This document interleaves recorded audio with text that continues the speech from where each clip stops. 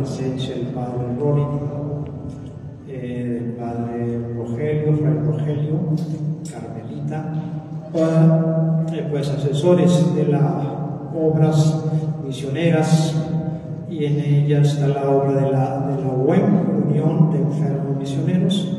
Aquí hay algunos hermanitos, hermanitas, Lupita, coordinadora. Bueno, pues eh, nos unimos a esta intención de la Iglesia, nuestros enfermos, amistades, signos de que Dios está en medio de nosotros, eh, pues lo podemos reconocer en, en la cercanía a los enfermos. Nos disponemos a celebrar estos misterios pidiendo perdón.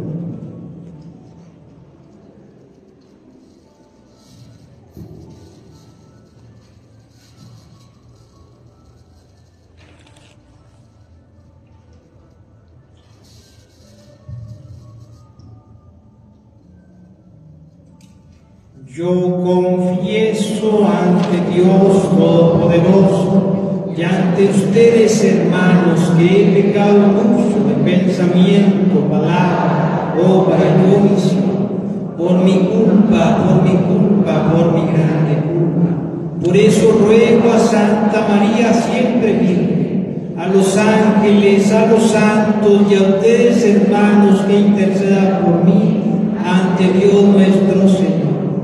El Señor Todopoderoso tenga misericordia de nosotros, perdone nuestros pecados, nos lleve a la vida eterna.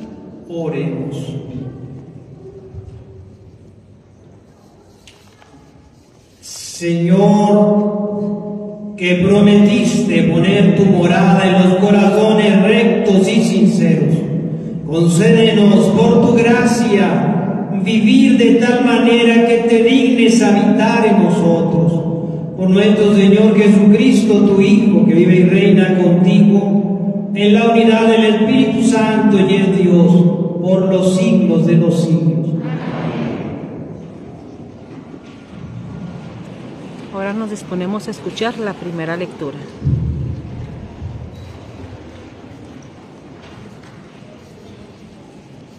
Del libro del Levítico. El Señor dijo a Moisés y a Aarón, cuando alguno tenga en su carne una o varias manchas escamosas o una mancha blanca y brillante, síntomas de la lepra, será llevado ante el sacerdote Aarón o ante cualquiera de sus hijos sacerdotes. Se trata de un leproso y el sacerdote lo declarará impuro. El que haya sido declarado enfermo de lepra traerá la ropa descosida, la cabeza descubierta, se cubrirá la boca e irá gritando, estoy contaminado, soy impuro. Mientras le dure la lepra, seguirá impuro y vivirá solo fuera del campamento. Palabra de Dios.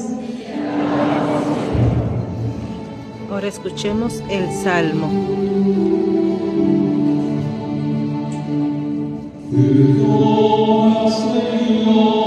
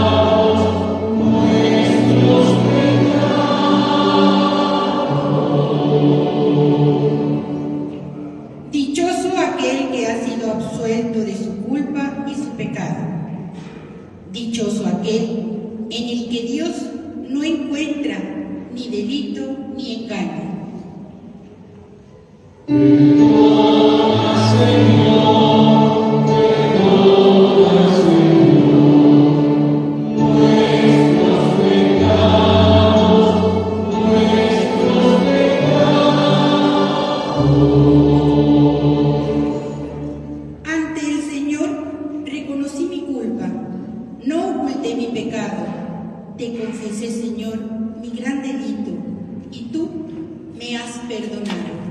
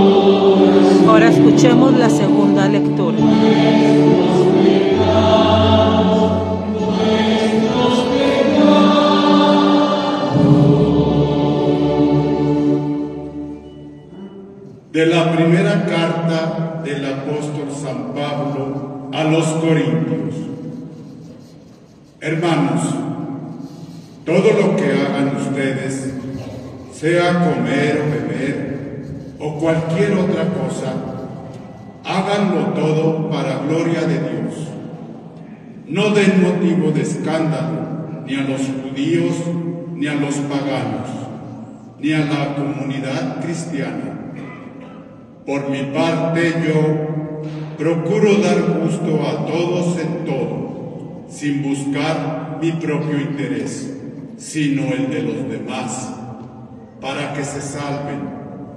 Sean pues imitadores míos, como yo lo soy, de Cristo. Palabra de Dios.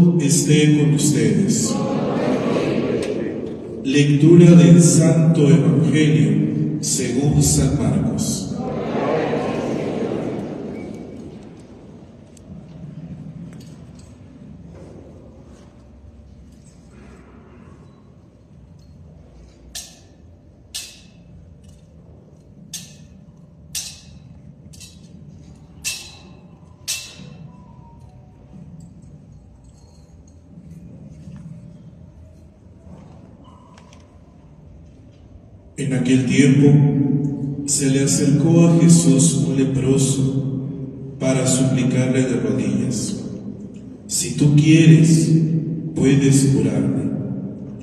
Jesús se compadeció de él y extendiendo la mano lo tocó y le dijo, si quiero, sana. Inmediatamente se le quitó la lepra y quedó limpio. Al despedirlo, Jesús le mandó con severidad, no se lo cuentes a nadie, pero para que conste, ve a presentarte al sacerdote y ofrece por tu purificación lo prescrito por Moisés.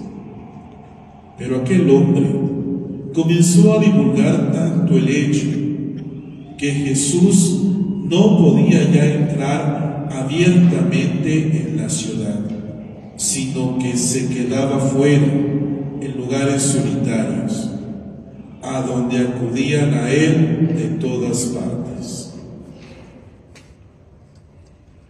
Palabra del Señor.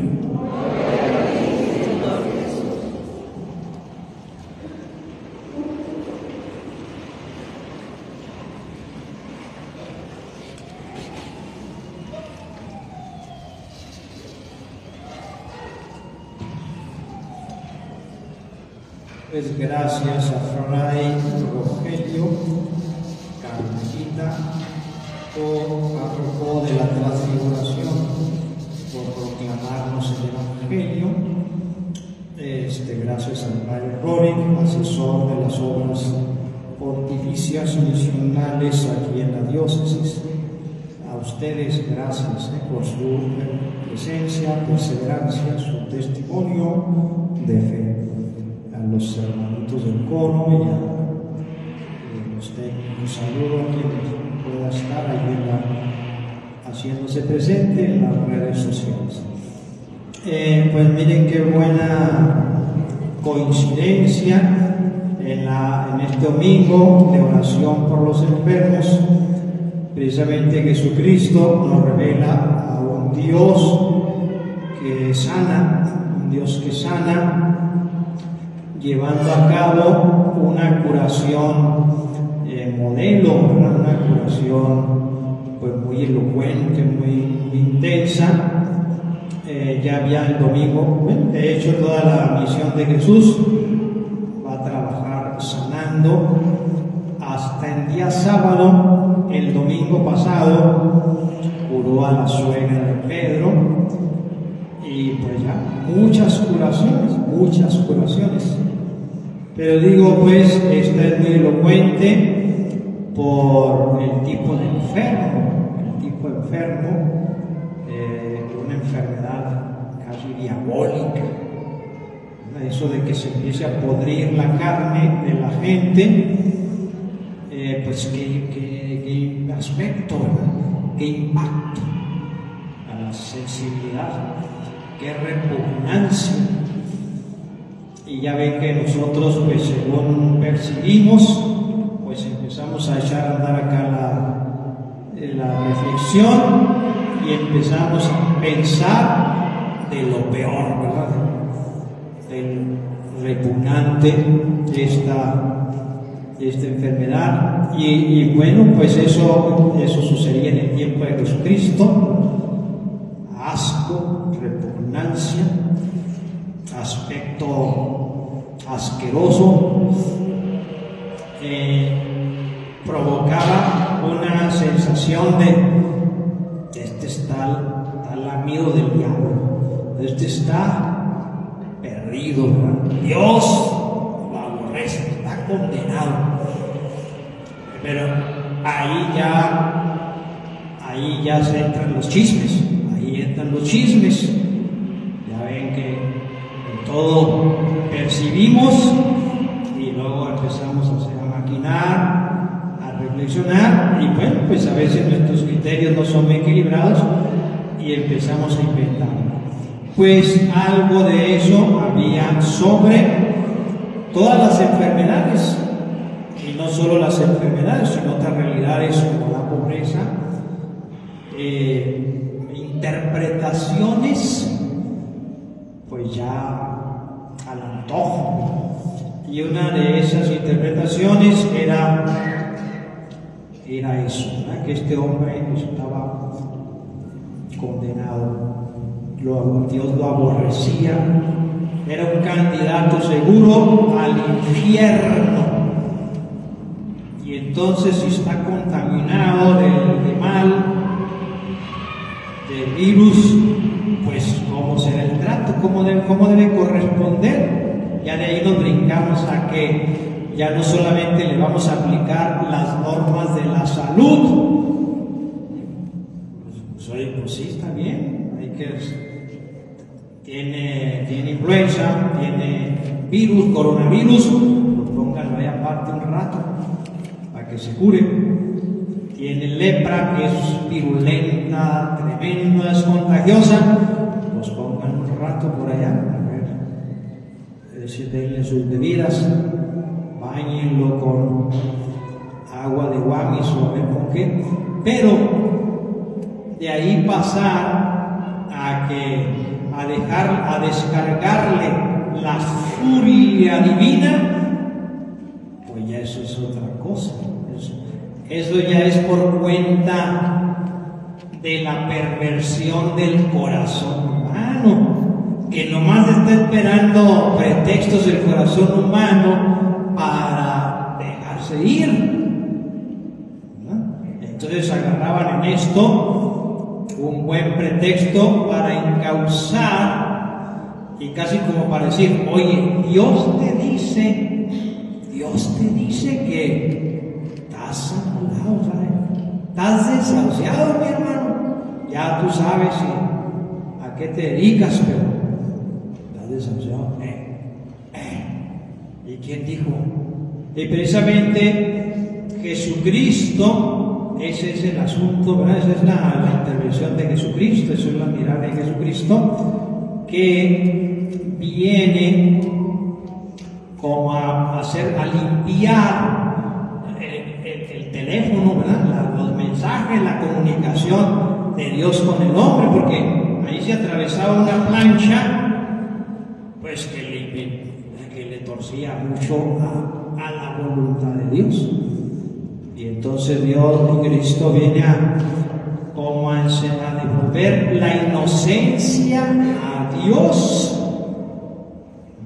para, para que no fuera lo que estaban presentando algunos, algunos estaban diciendo a Dios que era un monstruo, que se comía a tales personas, que condenaba, que despreciaba a tales personas. Y les digo, muy elocuente, muy intenso, tratándose de una de las enfermedades. Hagan cuenta que era el, el ejemplo de enfermedad. El enfermo, así enfermo, casi diabólicamente enfermo, un leproso. Y sobre ese, en ese, sobre ese, en el trasfondo de ese caso, Jesucristo corrige tremendamente una, imagen Es muy importante, nosotros somos creyentes, pero ¿en cuál Dios? El asunto es Dios. ¿Cuál Dios? Porque todos somos creyentes. Casi en este mundo somos todos somos creyentes. ¿En cuál Dios? Bueno, pues lo reflejamos en, en el trato, en la convivencia. Y, pues ahí está, ¿verdad? Está, ahí está el Dios que, que era un poquito manipulado, porque de esta manera de decir a los enfermos o a los pobres o a los pecadores, Dios los aborrece, son impuros, de hecho, toda la bola de impuros, que era la mayoría, era la mayoría del pueblo, pues este, son menos. Y estamos otros que somos más puros. Esos sí somos los buenos de la película, esos somos los amigos de Dios. Pero entonces viene Jesucristo, miren, dice Jesucristo, oigan, oigan, oigan, no le achaquen a Dios sus ascos, sus náuseas.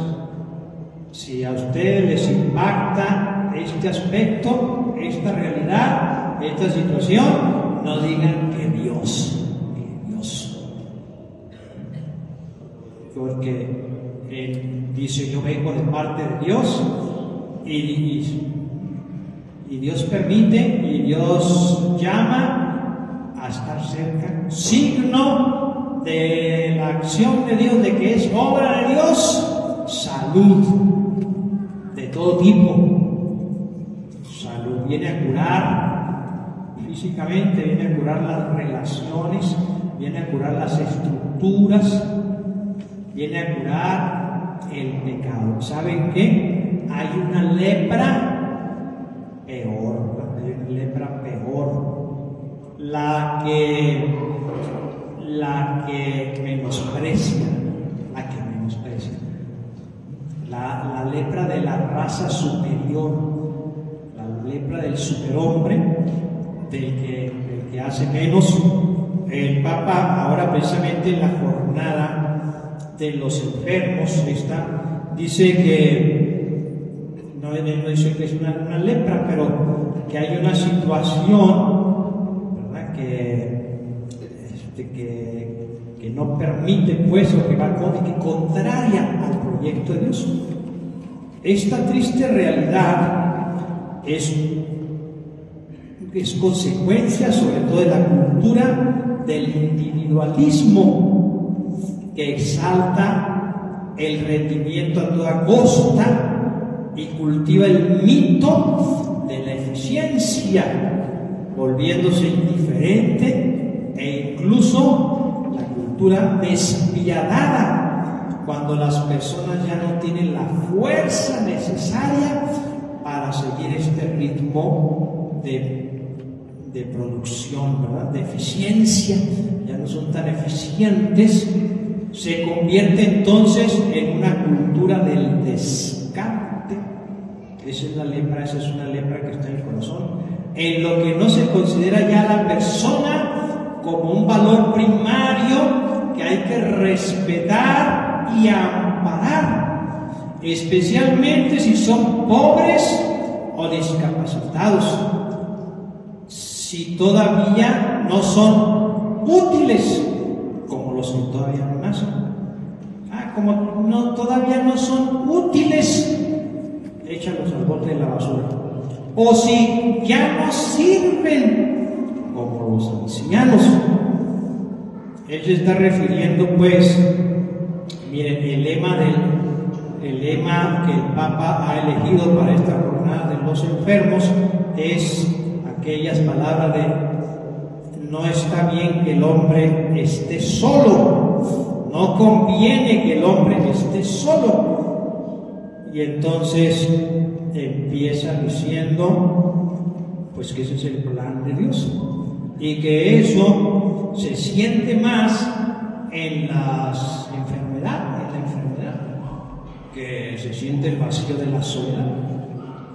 Y ya empieza a decir, lo de recordar como algo de lo duro de la pandemia, pues ve que muchos, este, los más pobres, sobre todo los más abandonados, le sufrieron más y sobre todo abandono, soledad. Pero, pero dice, también en las culturas, en los, en los países más desarrollados, que hay más recursos, también ahí, también ahí murieron muchos por abandono. Y empiezan a decir esto, a decir esto que esa es la situación donde eh, la lepra del descarte, lepra, digo porque este, precisamente el leproso era el que más sufría la condición de abandono, de alejamiento, como como tendría que ser en parte por cuestiones de salud, pero que se empeoraba por las cuestiones religiosas que se satanizaba, se les etiquetaba. El Papa, sin embargo, dice en relación a esto de los, los enfermos, eh, no, no conviene que el hombre esté solo. Dios la pronuncia al comienzo de la creación. El primer cuidado del que tenemos necesidad en la enfermedad es el de una cercanía llena de compasión y de ternura. Por eso cuidar al enfermo significa ante todo cuidar sus relaciones, todas sus relaciones, con Dios, con los demás, familiares, amigos, personal sanitario, con la creación y consigo mismo. Fijémonos en el buen samaritano, en su capacidad para aminorar el paso a hacerse prójimo, en la actitud de ternura con que alivia las heridas del hermano que sufre. La cercanía a los enfermos en todos los sentidos es uno de los signos inconfundibles de que el reino de Dios está llegando. Lo fue en Jesucristo, lo debe ser hoy para la iglesia. Lo fue en Jesucristo, por eso empecé diciendo, hablando del caso con que atiende ahora Jesús. Un enfermo, pero enfermo, ¿verdad? De lo peor de los enfermos. Bueno, pues eh, la iglesia ahora anima o quiere acercar la actitud de Jesucristo de atención a los enfermos eh, eh, en esta invitando pues a esto, a la oración por los enfermos. entonces sí, de nuestra parte nos, invita pues ahora también a, no generar enfermos, o sea que los enfermos son los enfermos, pero ya no generar más enfermos, o más o empeorar la enfermedad, este, acercándole pues eh, como aquellas interpretaciones como la de los discípulos, ¿quién pecó? Él o sus padres. Interpretaciones de y el Papa nos dice, la peor enfermedad es el rechazo, el ser abandonado, el ser discriminado, el ser descartado. Pues de esta manera este, Jesucristo responde a una, una actitud de un leproso, también eso es ejemplar, si tú quieres, puedes curarme. Fíjense, no se les hace admirable esta humildad, esta delicadeza de un hombre que recibe mucha violencia de parte de la religión, de parte de la sociedad, que ha sido maltratado, que ha sido humillado, discriminado, condenado, y, y todavía él ¿Cómo, cómo pide? Si quieres, puedes curarme. ¿Cuántas veces nos sentimos nosotros justificados a la mejor a reclamarle a Dios, a vociferar contra el cielo? No, porque, porque está difícil la situación, ¿verdad? No menos para que no fue menos para aquel leproso. Tenía todo para haberse desesperado, para haber maldecido, para haber sido si, si yo me voy a morir, si yo estoy desahuciado, pues les va a fastidiar la vida. Los voy a contagiar a todos, voy a sembrar desorden, desastre. Y no, qué respetuoso, si quieres, puedes curarme, si quizá, quizá tuvo el atrevimiento, ¿verdad? De, acercarse a Jesucristo, no, no profirió reclamos ni blasfemias contra Dios. Tenía más puro el corazón, tenía puro. La pureza, esa que habla Jesús, dichosos, puros de corazón, porque verán a Dios. Esa pureza, esa bienaventuranza la tenía una belleza interior. Le, le habla con todo respeto. No lo amenaza Jesús. No le dice, si no me curas, voy a cambiar de religión. Si no me cumples los caprichos, te voy a pochar las llantas, te voy a quebrar los vidrios. No se pone a decir todo está mal. Es un modelo de oración, es un modelo de fe. Y como en el pedir está el dar, pues ante uno que, que pide de esta manera. Tan amable, digo para nosotros podemos aprender. Jesús se la juega por él, se arriesga, arriesga su salud, porque acercarse, pues era, era de sentido común que podía contagiarse. Estamos dos mil años atrás, ¿verdad? Bueno, pues hay remedios, pero en aquel tiempo una enfermedad de esas, como nos pusimos histéricos en el coronavirus, ¿verdad? Al principio te contagias y te mueres. Pues eso era la lepra.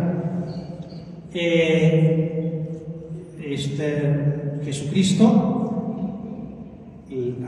acepta ante la profesión de fe de aquel enfermo leproso. Jesús responde porque a un corazón contrito y humillado el Señor no lo desprecia. Aunque tus pecados, ahora que vamos a empezar, aunque estemos sarnosos, sarnosos de pecado, leprosos, así cayéndonos a pedazos el alma. A un corazón contrito y humillado el Señor no lo desprecia. Siempre le responderá, sí tus pecados son perdón. O no sé, lo que necesitemos. Busquemos a Dios, hagamos oración o la firme convicción de que Dios sí quiere de antemano, porque no necesitan ustedes hablar mucho ni decir muchas palabras. Ahí lo vamos a escuchar en el próximo miércoles. Cuando hagan oración, Él sabe, Él ya sabe de antemano lo que les hace falta. Bueno, pues que Señor, que estos signos, lo que leemos en el Evangelio, lo que vemos en la vida, pues llene de esperanza nuestro corazón y nos ayude a iniciar esta cuaresma también con, con esto. Si quieres, puedes curarme, Señor, si quieres, puedes cambiarme, si quieres, puedes llenarme de alegría, de esperanza, de lo que necesite. María, Nuestra Señora del Carmen, que precisamente eh, pues nos ha ofrecido esta, esta fuente de salud que es Jesucristo, interceda, nos acompañe en nuestro caminar de cuaresma. Amén.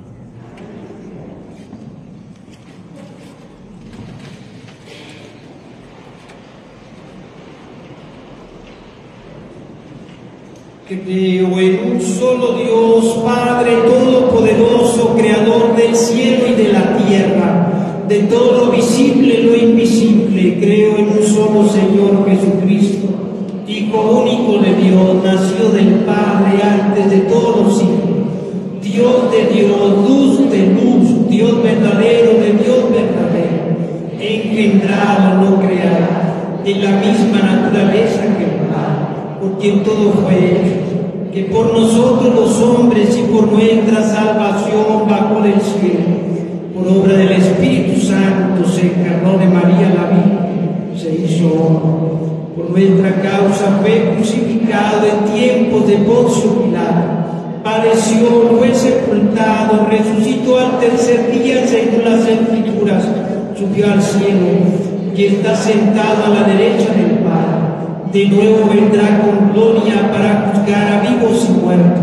Su reino no tendrá Creo en el Espíritu Santo, Señor, creador de vida, que procede del Padre y del Hijo. Con el Padre y el Hijo recibe una misma adoración y gloria que habló por los profetas. Creo en la Iglesia, que es una santa, católica y apostólica. Confieso que hay un solo bautismo para el perdón de los pecados. Espero la resurrección de los muertos y la vida del mundo futuro.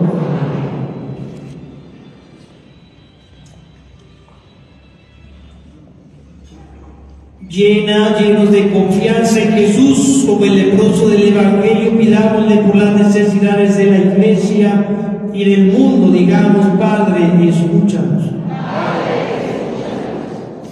Por la iglesia, que sea un hogar de misericordia para todos los que viven atribulados y en situaciones difíciles. Padre, escúchanos.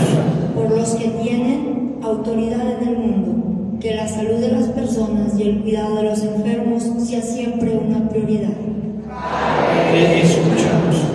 Por quienes sufren enfermedades largas y dolorosas, que la memoria de Nuestra Señora de Lourdes brille para ellos como un signo de salud y esperanza, y experimenten la cercanía y ayuda de quienes los rodean. Padre.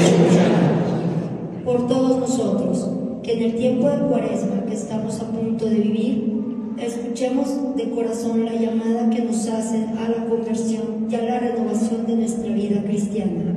Padre.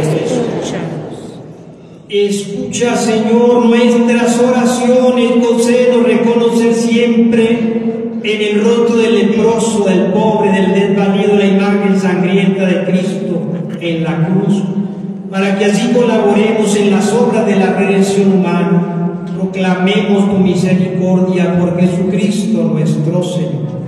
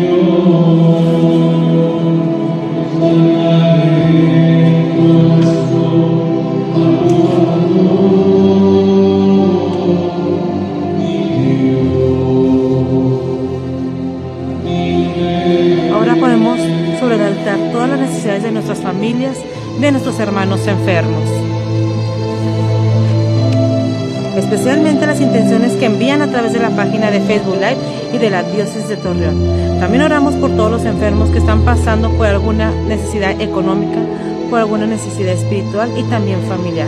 Agradecemos a quienes siguen esta transmisión a través de la página de Facebook Live de la Diócesis de Torreón.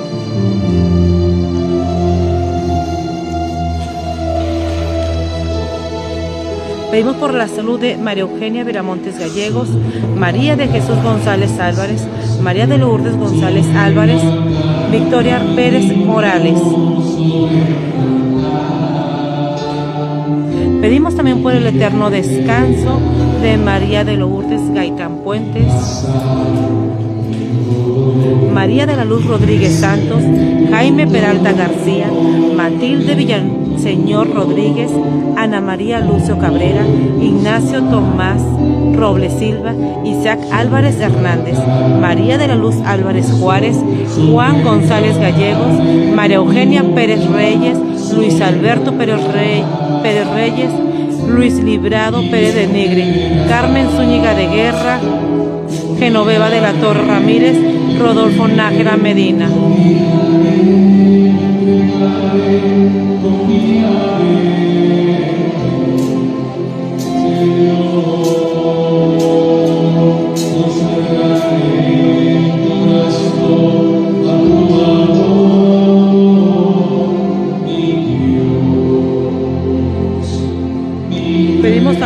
Jorge Manuel Romero Pérez, Patricia Ivón, Emiliano Meraz.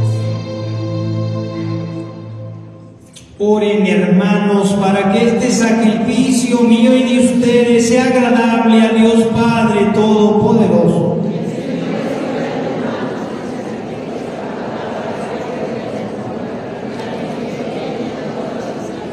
Que esta ofrenda, Señor, nos purifique, nos renueve, se convierta en causa de recompensa eterna para quienes cumplimos tu voluntad por Jesucristo nuestro Señor.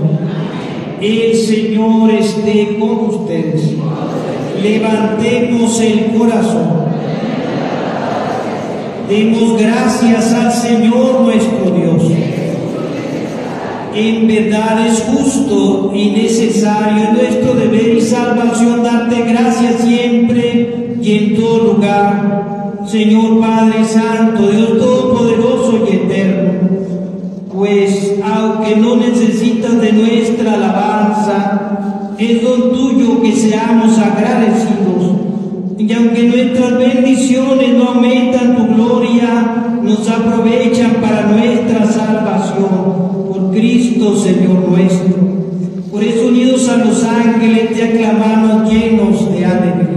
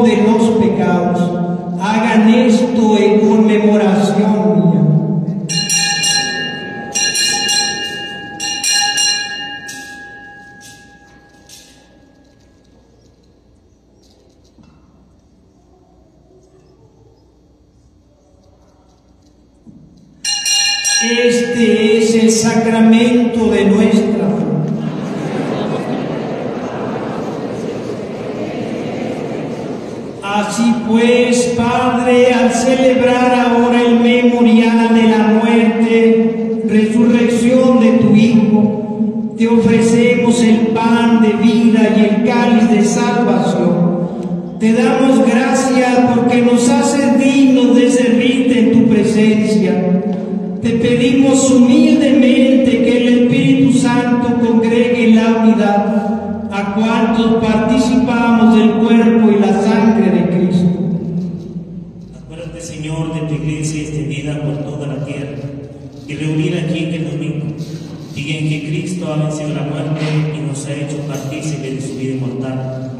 Y con el Papa Francisco, con nuestro obispo Luis Martín, y todos los pastores que cuidan de tu pueblo, llevarán su perfección por la caridad.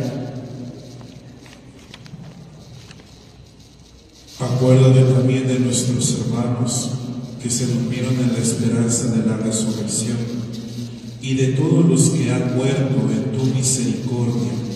Admítelos a contemplar la luz de tu rostro.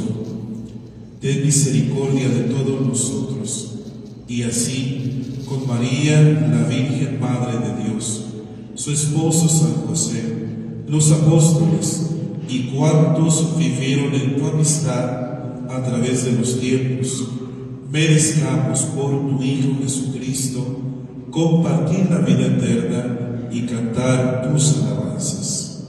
Por Cristo, con Él y en Él, a ti Dios Padre Omnipotente, la unidad del Espíritu Santo, todo honor, toda gloria por los siglos de los siglos. Antes de participar en el banquete de la Eucaristía, oremos como Cristo nos enseñó. Padre nuestro que estás en el cielo, santificado sea tu nombre. Venga a nosotros tu reino. Hágase tu voluntad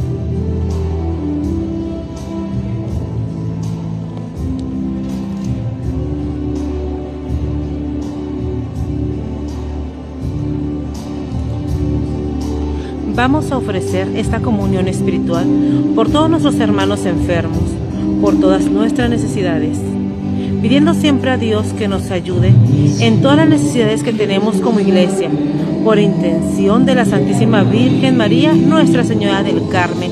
Decimos todos juntos.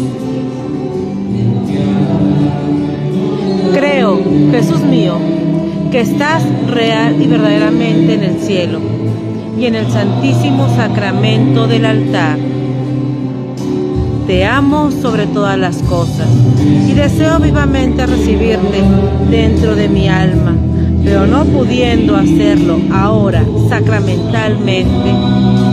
Ven espiritualmente a mi corazón y como si ya te hubiese recibido, te abrazo y me uno del todo a ti. No permitas que jamás me aparte de ti. Amén.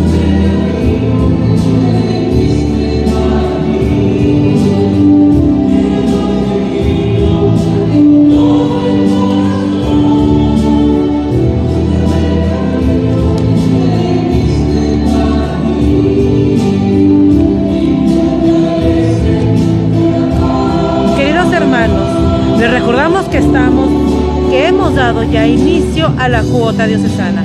Recuerden que entre todos sostenemos a nuestra iglesia. Por eso les invitamos a acudir a su parroquia por su sobre para apoyar a nuestra iglesia. Queridos hermanos, les avisamos que la misa de inicio de miércoles de ceniza es a las 8 de la mañana y va a ser celebrada por nuestro señor obispo Luis Martín Barraza Beltrán. Y va a ser transmitida a través de la, de la página de la diócesis de Torreón por Facebook Live. También les compartimos los horarios que vamos a tener de este miércoles de ceniza 14 de febrero del 2024. 8 de la mañana, misa presidida con el señor obispo Luis Martín Barraza Beltrán. 10 de la mañana, imposición de ceniza. 11 de la mañana, imposición de ceniza. 12 del mediodía, misa con imposición de ceniza. 6 de la tarde, imposición de ceniza. 7 de la tarde, imposición de ceniza. 7 de la tarde es misa con imposición de ceniza y 8 de la noche es imposición de ceniza.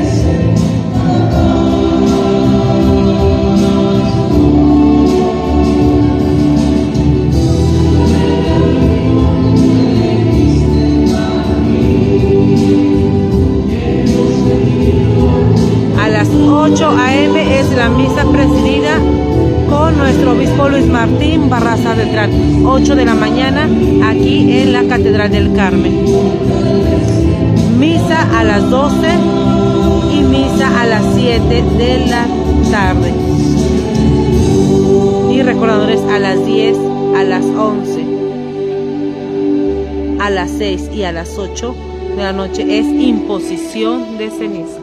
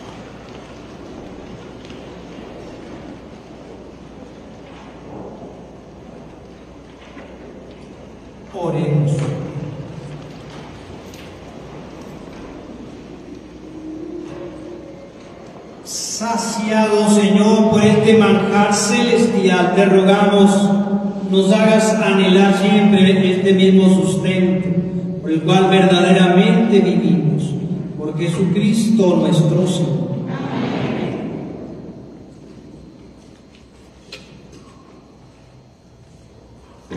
El Señor esté con ustedes. Sea bendito el nombre del Señor. Nuestro auxilio está en el nombre del Señor. La bendición de Dios Todopoderoso, Padre, Hijo y Espíritu Santo descienda sobre ustedes, permanezca para siempre. Antes de irnos, agradecemos al señor obispo por haber presidido esta Eucaristía, a Fray Rogelio también, que nos ha acompañado. Y también un agradecimiento especial a la Unión de Enfermos Misioneros que entra en la obra de San Pedro Apóstol, por ese mensaje que ella en la presencia de poder visitar a un enfermo, poder compartir el Evangelio con ellos, también están haciendo presente al mismo Cristo. Muchas gracias a la Unión de Enfermos Misioneros de nuestra diócesis, pues hay que seguir impulsando esta obra y aquellos que quienes se quieran integrar, pues también pueden comunicarse aquí con nosotros. Y agradecer también la memoria del Padre Estaba, que con mucho cariño eh, él también fue impulsor de la Unión de Enfermos Misioneros. Muchas gracias y un aplauso para el Padre Estaba y para todos ustedes.